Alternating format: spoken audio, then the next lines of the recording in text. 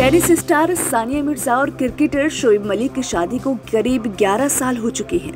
दोनों अपनी शादीशुदा ज़िंदगी में काफ़ी खुश भी हैं। उनका एक बेटा भी है, जिसका नाम इजहान मिर्ज़ा मलिक है।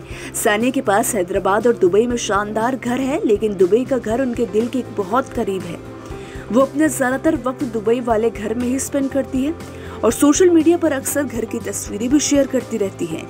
चलिए आज हम आपको सानिया के इस आलिशान घर की सैर करवाते हैं। सानिया मिर्ज़ा एक बेहतरीन टेनिस खिलाड़ी है, जिन्होंने कई मेडल भी जीते हैं। सानिया ने पाकिस्तानी क्रिकेटर शोएब मलिक से शादी की और अब वो शोएब और अपने बेटे के साथ दुबई में रहती है।